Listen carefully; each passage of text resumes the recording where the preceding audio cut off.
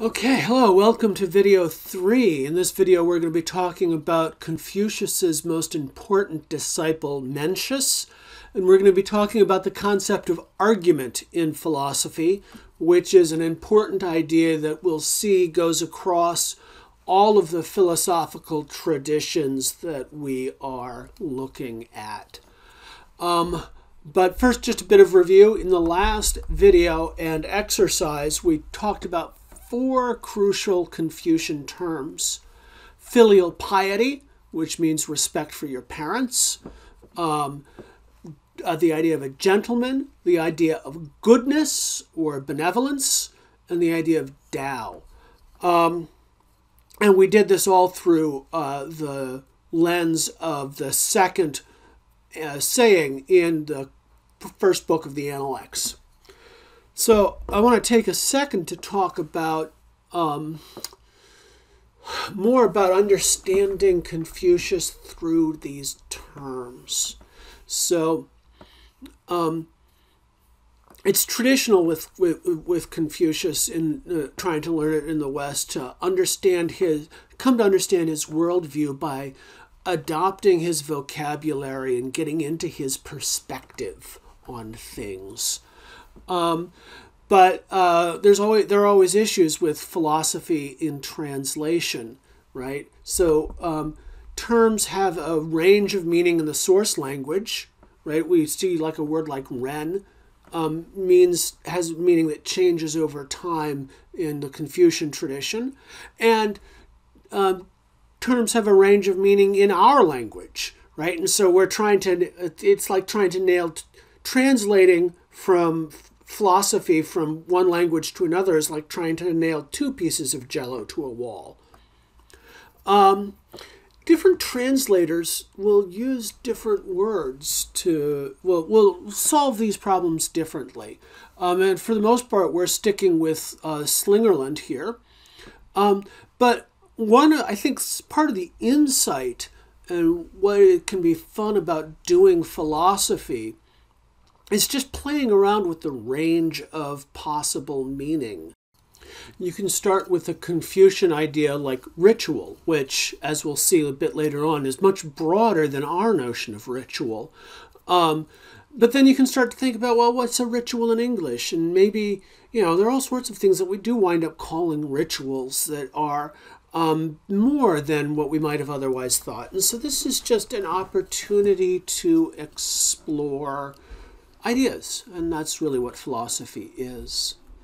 Okay, so uh, this notion of Ren or goodness was really important in the previous fragment or the previous analect we discussed, and uh, it's also going to come up again in this passage from Mencius that I had you read. So I want to talk a bit more about it. Um, Slingerland, our translator, uses the word goodness because, as I said, um, before in the original Confucian um, uh, writings, it really is meant to be a sort of a general term for something that is morally good, uh, that you would approve of. Um, later on, later people like Mencius are going to associate it more with kindness. So he's got sort of specific ideas about what makes something good, and it part of that's generosity. We'll see this in a second. Um, so there's some other translators out there. They, um, a guy named Leys has a nice translation. He calls it humanity, and I can see that. Um, two famous translators, Ames and Rosemont, um, they're big because they, uh, well, Rosemont passed away, but uh, Ames is really trying to promote Confucian thought in America. And so whenever he translates things, he is trying to make it seem as appealing as appealing as possible in his mind to an American audience. So rather than talking about um, something uh, that you might might be associated more with like imperial China, well, the phrase he uses is authoritative conduct. Um, Legge uses benevolence, and that's closer to what Mencius means than what, what um, uh, Confucius means. Uh, Mueller uses fundamental human goodness. Well, uh, okay. I had you read a short passage from Mencius's writings um, and answer a few questions about it. And I just want to turn our attention to it now because the, um, it's crucial for understanding a couple of important concepts that will carry us through what's going on afterwards. So, uh, Mencius was a disciple of Confucius. He was not a first generation disciple. Um, exactly how many generations down the road he was isn't clear. Um, he is one of a few um, disciples of Confucius whose name was Latinized because, again, the original European um, uh, missionaries who contacted China recognized, oh, this is this is philosophy. This is like what we do in Europe. So we're gonna we're gonna give him a Latin name. But his Chinese name was Master Meng, M-E-N-G or Mengzi. So he's got this famous passage, and I asked you to read it and say what you thought it was about. Um, and I'm just going to run through some of some of it. And so one thing that's interesting about this passage is it's longer than and less conversational than what you would see in the original Analects. Also, it has a thesis and an argument. Um, so it has a thesis that's given up front. It says, All people have a heart which cannot stand to see the suffering of others. We'll talk in a second about what that means right now, though, I just want to note that he is everything else in this essay. This is functions more like an essay than a wise saying, like the Analects do, is in support of this thesis statement. So there's an idea in philosophy, goes across philosophical traditions, that um, we, when we provide answers to philosophical questions, we give arguments for them. So um, I showed you that David Hill quote where he talked about how philosophy was um, answering questions that come naturally to children using methods that come naturally to lawyers. And this is the lawyer part of it. Let's let's move ahead for a second. Um, so, um, an argument means something very specific here. Um, so, an argument is not just a disagreement. An argument is a um, form of reasoning where you attempt to use some statements to justify other statements. So, on this slide, uh, I define argument in standard definition. It is a connected series of statements designed to convince the audience of another statement. And what we see in this Mencius passage is that he is doing just that. He has a thesis that he wants to convince us of. All people have a heart that cannot stand to see the suffering of others. Um, and then he, but later on, he says, Why do I say that all beings have a heart which cannot stand to see the suffering of others? Um, so he's saying, I'm going to give you my reason for believing the thing that I believe. And when after that, he gives a thought experiment. He says, even nowadays, if an infant were about to fall into a well, anyone would be upset and concerned. Not because they want to get in good with the baby's parents, but because a baby falling down a well invokes a feeling of compassion. So sometimes Mencius is people read this and they say, oh, what he's saying is everyone is really good at heart because we all care about babies who fall down wells. But he's not he's not saying that we're all perfectly good. He's what he says is we have inside us the potential to be good. We all have a seed that could grow into something good. So look at the rest of the passage here.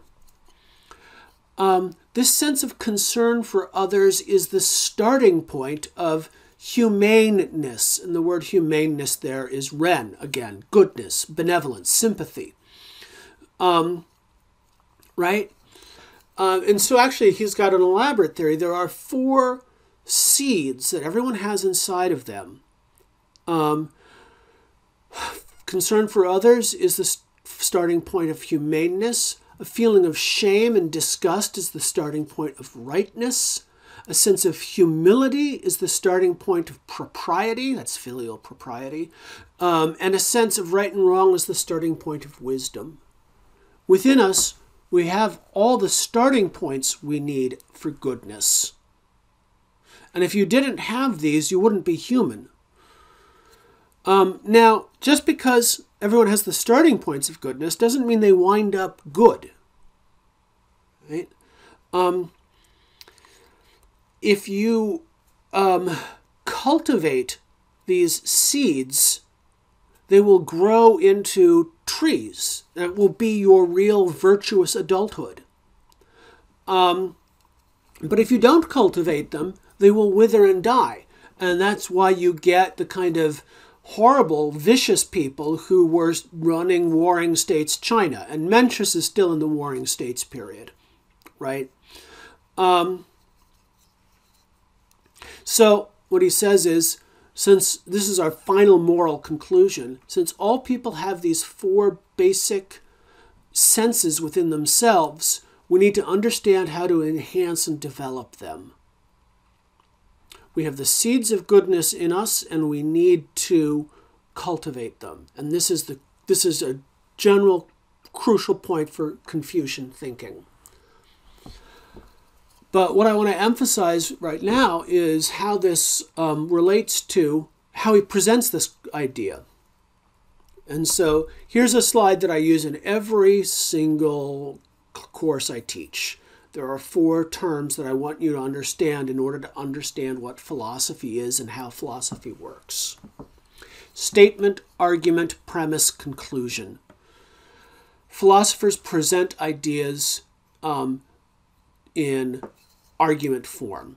Now, Confucius didn't give many arguments, but by the time we get to Mencius, the Chinese tradition is fully embedded in argument the same way any philosophical tradition is. Um, so uh, let's start with the idea of a statement. A statement is a unit of language. It's a, that can be true or false. There are lots of things we do with words. We can ask questions, we can give orders, we can just yell. Um, when we say something that could be true or it could be false, we're making a statement, an assertion, a claim. Um, we string those together to make arguments. An argument is a connected series of statements designed to convince an audience of another statement. The conclusion is the statement that we're trying to convince an audience of, and the premises are the statements that do the convincing. So we could actually represent Mencius's argument like this. Statement one if you saw a baby fall into a well, you would be upset. You would want to save it. And this isn't because, premise two, you desire a good reputation. Conclusion Therefore, all people have in them a heart that cannot stand to see the suffering of others. Right? Now, you may not believe, oof, you may you may not believe this, but now if you're going to believe this, you're going to have to, um, if you're going to deny it, you're going to have to cope with the argument. So is it true that um, everyone would be upset if they saw a baby fall into a well? Well, most people. I mean, these days we've got modern psycho- psychological science, and it tells us that a small number of people are genuine psychopaths. That is, they don't feel the suffering of others, they don't care about the suffering of others. And uh, the Canadian psychologist Robert Hare estimates that psychopaths are about uh, 1% of women and 3% of men. I'll just let that, the fact that that's gendered sink in a second. Um, so in modern terms, you might say, well, not anyone, but 98% of people. 98% of people, in Mencius's terms, have a heart that cannot stand to see the suffering of others. And the other ones you want to be sure you stay away from. Okay, right? And you can tell that they've got this because they have a natural urge to compassion. I want to focus back again on argument and how this is um, being, uh, how these ideas are being presented. So here's here's a simpler form of an argument. Imagine Monica, a person, she's playing Clue, that old board game where you have to you're a detective trying to solve a murder. Um, Monica can say to herself, the possible murder weapons are the knife, the candlestick, the revolver, the rope, the lead pipe, and the wrench. The murder weapon was not the knife. The murder weapon was not the revolver, the rope, the lead pipe, or the wrench. Therefore, the murder weapon was the candlestick. This is a standard example of reasoning. It's reasoning by process of elimination, right? And if you play the game Clue, it's all about the process of elimination. Um, this kind of reasoning that she's engaged in we're not, is what we're calling argument. Um, and this is something that Monica could be thinking to herself, internal reasoning, or speaking out loud to someone else, like they're playing on a team. But in any case, all of the elements of an argument are here. It's a it, you have a series of statements. Some of them support others. Some are premises. Some are conclusions. So let's dig down deeper on these ideas. Um, I said a statement is a unit of language, a stretch of words that can be true or false. Uh, it, let's think about this in more detail. Um, if you have a phrase, my dog Edie, that's just a single um, noun phrase. It's not a statement, right? It's just a noun phrase. Is running not a statement. That's a verb phrase. You put them together, you get a statement. My dog Edie is running. And this is uh, this is now you have something that could be true or it could be false, right? Um, Edie passed away some years ago.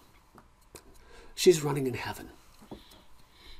Okay, um, so we're going to use phrases like statement, sentence, assertion, proposition, all of them interchangeably. And the idea is that they contrast with, um, well, among other things, fragments, sentence fragments, like I was just talking about, but also questions, commands, exclamations. We want to focus on one particular kind of thing we do with words here. So, um, statements are what you use to answer questions, they're not questions. I emphasize the idea that argument is composed of statement statements because it kind of runs sideways to or um, counter to a way that a lot of people have been taught, which is to worry about the difference between fact and opinion.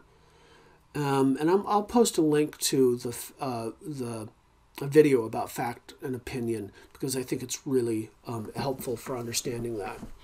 But um, fact and opinion is not a big deal for philosophy the way it is everywhere else because both facts and opinions are ultimately statements. And so, one important distinction we want to make is a distinction between descriptive statements and normative statements. Um, these are all things that can be true or false, but they are, are about different things. Descriptive statements are about the way the world is, like the cat is on the mat, or objects near the Earth's surface fall at an accelerating rate of 9.8 meters per second per second. Um, these are statements about the way the world is. You can also have statements about the way the world should be, like you shouldn't chew with your mouth open, or torturing babies for fun is wrong, or if a baby falls in a well, you should be concerned. Because statements in an argument can be normative, we can give arguments on moral issues. Um, and that's going to be really important. You may have been used to saying that morality is the sort of thing that's a matter of opinion, not of not a matter of fact. Um, but whether it's opinion or fact, it's something you can give an argument about because norm, moral statements can be true or false. That's just part of their grammar. That's how they're set up. They're just about the way the world should be. So the last bit we want to say is that um, when you have an argument, you're going from premises to conclusion, um, and that means uh, that you're making an inference an inference is the link between premise and conclusion.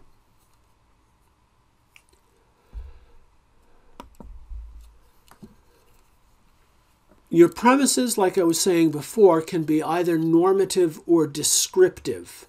Um, but here's a general rule. If you've got a normative conclusion, um, specifically like a moral conclusion, you need to also have a normative premise. So here's another slide I've been using a while. O.J. Simpson intentionally killed Nicole Brown. That's what we call a descriptive premise.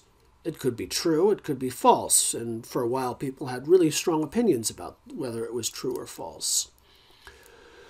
Um, but it's just a description of how the world is. It is wrong to intentionally kill people. This is a normative premise because it's about how the world should be. You shouldn't kill people. Interestingly, um, everyone immediately says, well, this is a true normative statement, but almost everyone, except for pure pacifists, will actually say that there are some circumstances in which killing is acceptable. So, um, but in any case, from that you can get a normative conclusion uh, what OJ did was wrong. So I've got a quick exercise for you um, where you have to identify arguments. You have to tell the difference between statements and non-statements, and then arguments and non-arguments. The big thing you want to do here um, when you want to look for arguments is see if some statements are used as evidence for other statements. The baby if people are concerned when a baby falls in a well, that's a statement. It is evidence for another statement. Um, everyone has a heart which cannot stand to see the suffering of others. In addition to this relationship of evidence, um, you can talk about, oh, well, people use words, indicator words, to tell you whether or not what they are um, what what they're do saying is meant to be an argument. So indicator words are words like because and therefore. Um, because and therefore indicate that either what's coming is going to be a premise or a conclusion. And then these words have a bunch of synonyms, which are listed here in the PowerPoint.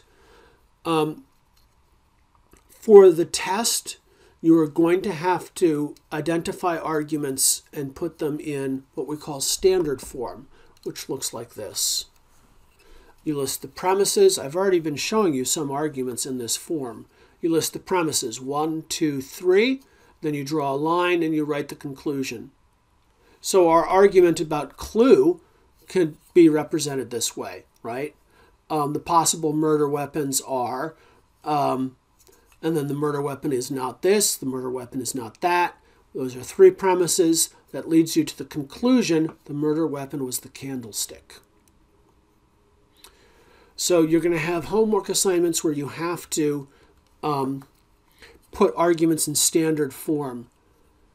So you can paraphrase statements to make them shorter, but you have to use complete sentences. Keep the basic meaning intact. Um, change questions and commands into statements. So if you encounter a, a, a question, um, and it, it may actually be what we call a rhetorical question. It may be a hidden, actually a statement. So you turn that into statement form. Delete irrelevant or redundant material, remove indicator words. So um, we've got this passage here. This when the central argument of the passage we looked at before could be represented like this, right? This is standard form, premise, premise, conclusion. Okay, so there's an exercise about that that you have to submit, and uh, there will be an answer sheet available. If um, and hopefully that will help you understand what's going on. Um, on the practice test, you will be given random arguments to put in standard form, um, and uh, I'll link to a couple more videos that will hopefully help explain this idea of putting arguments in standard form, a bit, uh, because it's crucial for how we're going to represent everything that uh, we talk about in this course. All right, so that's Mencius and uh, ideas about argument. Next up, I want to talk about uh, Confucius's role as a student and a teacher, and there's going to be some exercises around that.